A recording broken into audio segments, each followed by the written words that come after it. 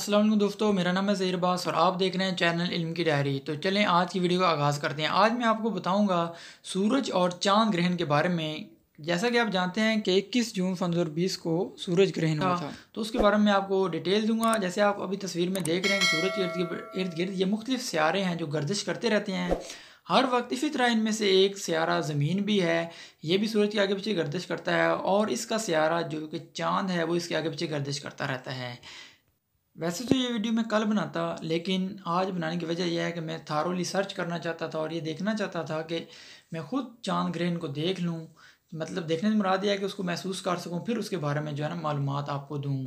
सबसे पहले मैं आज आपको बताऊँगा कि जो है ना सूरज ग्रहण कैसे लगता है। अभी आप देख रहे हैं सूरज, ज़मीन और जो चाँद हैं चाँद जो है वो ज़मीन के आगे पीछे चक्कर लगाता है। जब चाँद सूरज और ज़मीन के दरमियान आ जाता है, जैसे आप तस्वीर में देख रहे हैं तो ये सूरज की रोशनी को ज़मीन पर आने से रोक देता है और इस तरह चाँद का एक साया ज़मीन की सरफेस के ऊपर पड़ता है, जिसकी वजह से हमें सूरज जो है मुकम्मल तौर पर नज़र नहीं आता। जैसे कि अभी आप देख रहे हैं तो जो है चाँद उसके सूरज के सामने आ गया और इस तरह का नज़ारा अभी आपको तस्वीर में नज़र आ रहा है, देख आपको नज़र आता है। तो इस तरह के नज़ारे को सूरज ग्रहण का नाम दिया जाता है। इसको इंग्लिश में सोलर एक्लिप्स कहते हैं। फाइनदान कहते हैं कि सूरज ग्रहण को नहीं देखना चाहिए। वो बिल्कुल ठीक कहते हैं। डायरेक्टली आपको नहीं देखना चाहिए। अगर आपको नहीं रह सकते, देखना ही है तो फिर आप जैसे ये डबल ग्लासेस के साथ ये आपको एक आदमी नज़र आ रहा है, ये देख रहा है ऐसे आप देख सकते हैं, या एक्सरे को एक्सरे शीट को अपने सामने रख के देख सकते हैं। वैसे देखने की ज़रूरत नहीं है, लेकिन फिर भी अगर दिल चाहता है तो इस तरह आप देख सकते हैं। आज मैं अब आपको बताता हूँ कि सूरज ग्रहण के बारे में इस्लाम हमें क्या रहनमाई फ्राहम करता है? ये जो आगे जो सियारे हैं, जो हमारे आगे पीछे, यानी कि सूरज के आगे पीछे गर्दिश कर रहे हैं, उनमें से जो ज़मीन है, वो भी हमारा एक सियारा है, वो भी गर्दिश कर रहा है। तो साइंस सॉरी इस्लाम जो है, वो सूरज ग्रहण के बारे में क्या कहता है, ये मैं आज आपको बताऊँगा। तो हदीस है कि आप फरमाते हैं कि जब सूरज या चाँद ग्रहण हो तो सलातुल्कसूफ़ पढ़ना चाहिए।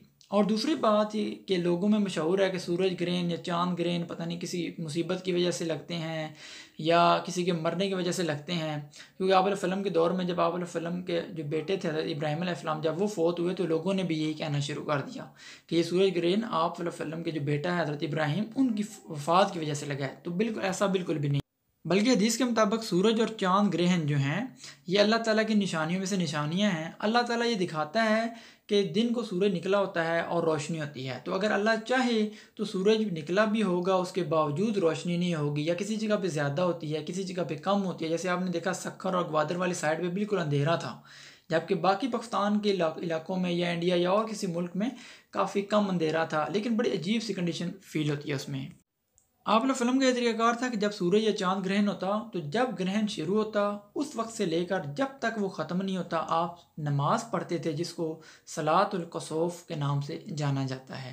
हमें भी इस बात पर अमल करना चाहिए और सलातुल्कसौफ़ जब भी सूरज या चाँद ग्रहण अदा करनी चाहिए तो अगर आपको मेरी ये वीडियो अच्छी लगी है तो इसको लाइक, शेयर और चैनल को सब्सक्राइब कर दें। अगली वीडियो तक के लिए मुझे दीजिए इजाज़त। अल्लाह हाफिज़।